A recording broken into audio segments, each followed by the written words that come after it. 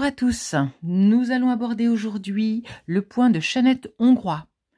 Donc la traduction du Hungarian Chain Stitch. C'est un point de chaînette qui se fait de droite à gauche. Pour cela, j'utilise une aiguille à broder 8, bout pointu, deux fils de moulinet. Moi j'ai choisi de prendre un fil dégradé pour voir un petit peu avec vous ce que ça peut donner. C'est pour réaliser ce type de, de tige. Alors, on va mettre un petit coup de zoom pour que vous voyez bien. Un deuxième petit coup de zoom. Voilà, en fait, c'est une sorte de point de tige épais, double, qui est rebrodé tout en même temps. A un joli effet de passementerie. Alors, à nous de jouer maintenant. On va repartir au démarrage. Donc ce point, je me suis accrochée derrière, j'ai mis une petite, euh, comme je suis sur un lin 14 fils, je travaille en broderie traditionnelle, donc j'ai mis une petite doublure de coton derrière qui m'a permis d'accrocher mon fil sans problème. Je vais démarrer euh, avec un point arrière. Alors, zoom et peut-être rezoom même. Hum, ouais, ça va peut-être être compliqué, rezoom, oui. Donc je vais me démarrer avec un point arrière, c'est-à-dire que je ne vais pas sortir au bout, je vais sortir un petit peu plus loin. Et je vais tourner mon ouvrage parce que je vais broder de droite à gauche. Et là, je ne suis pas du tout à l'aise. Hop, je tourne tout. Voilà, pour être dans ce sens-là. Donc, je reprends mon, mon aiguille. Je commence par un petit point arrière et je vais faire un petit point avant. Je vais passer délicatement sans piquer dans le tissu sous mon petit point arrière. Peut-être deuxième zoom là si je ne bouge pas mon tissu. Je récupère mon fil, je tends, je repique là où est sorti mon premier point exactement dans le même trou et je refais un petit point avant. Allez, deux fils, c'est bien sur du 14 fils. Voilà.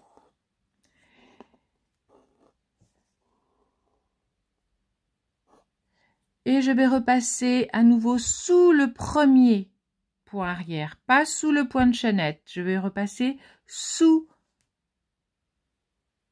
le petit premier, le premier point arrière. Et là, je laisse mou. Et je repique dans le trou et je fais un petit point avant, petit Armand, petit. Et je relaisse mou. Ça me fait de petites ailes sur les côtés. Et là, je vais piquer sous mon point de chaînette en passant sur la première aile, sous le point de chaînette, sur la deuxième aile. Si je le prends devant moi, avec mes petits ciseaux, je vais vous montrer. Donc, mon aiguille est sur la première petite aile, sur le premier mou, sous le point de chaînette précédent et sur la deuxième petite aile. Quand je suis à ce moment-là, je fais quick, c'est-à-dire je tire sur mon fil. Et je recommence. Mou. Je repique.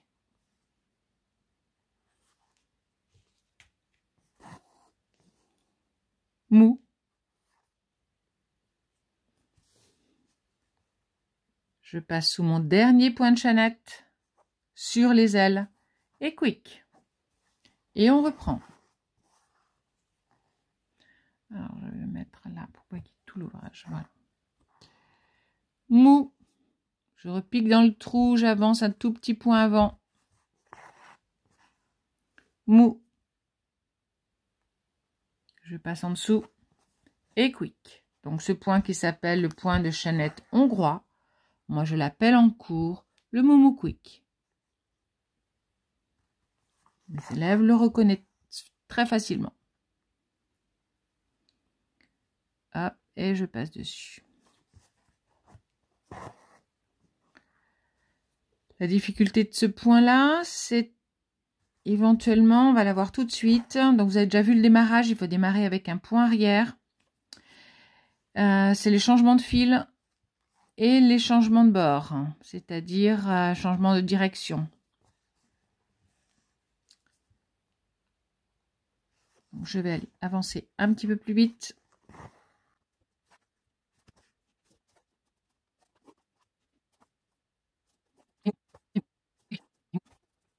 Et mou. Je passe dessous.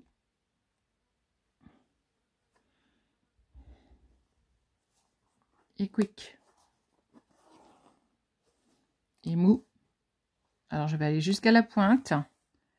Et je vais vous montrer pour faire le changement de direction.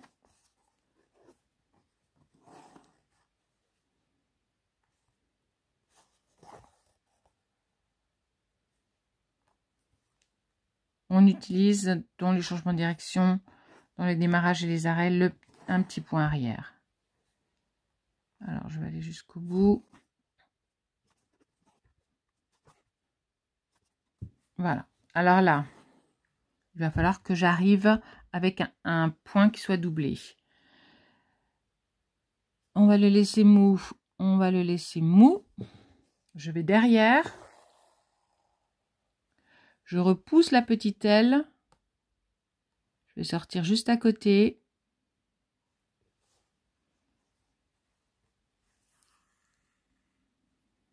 Je passe sous mon point de chaînette et là il va falloir que je tire. Voilà.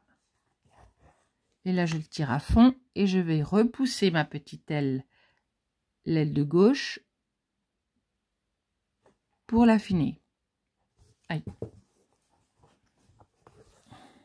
Voilà, donc là, ça va être la fin de mon point. Maintenant, pour reprendre, je vais reprendre à partir, je ne vais pas reprendre d'ici, je vais reprendre ici, là. Je vais naître de cette partie-là. Et je vais repartir dans ce sens-là. Et là, pour démarrer, comme tout à l'heure, petit point arrière. Donc, je me mets ici. Petit point arrière qui va mordre le, le point précédent, la ligne précédente. Petit point avant. Alors, est-ce que vous voyez tout bien? Voilà. Je passe dessous délicatement. Là, je tends et c'est maintenant que je vais faire. Je repasse sous le premier. Ah, j'ai pris un fil de trop. Je vais faire mou. Je repique dedans. Petit point avant. Remous. J'installe mes petites ailettes pour bien les ne pas les prendre, pour bien passer dessus. Je prends mon point de chaînette par en dessous sans piquer dans le tissu et là je fais quick et c'est reparti. Et voilà.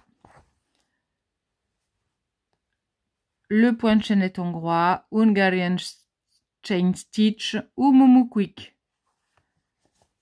Comme vous voulez. Mais aux ateliers d'Armand, on comprendra tout. À très bientôt pour un nouveau point. Alors, je vais terminer, tirer celui-ci. Hop. Et voilà. Eh bien, eh bien, eh bien, c'est bien. Eh bien, ça me plaît. Voilà. La jointure est parfaite. Vous voyez l'intérêt avec ce point-là d'avoir un fil dégradé. Ça peut être sympathique. On le revoit donc ici, là. Pour un nouvel ouvrage. À très bientôt. Bonne fin de journée. Au revoir.